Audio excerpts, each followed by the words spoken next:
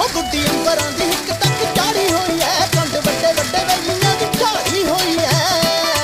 ਲੱਲੀ ਛੱਲੀ ਨੂੰ ਨਾ ਚੱਕਣ ਦੇਈ ਦੀ ਅੱਖ ਨਹੀਂ ਹੋ ਪਹਿਲੇ ਦਿਨ ਤੋਂ ਤਨ ਤੋਂ ਹੀ ਗੱਭਰੂ ਕਰੂਗਾ ਅੱਖ ਨਹੀਂ ਹੋ ਪਹਿਲੇ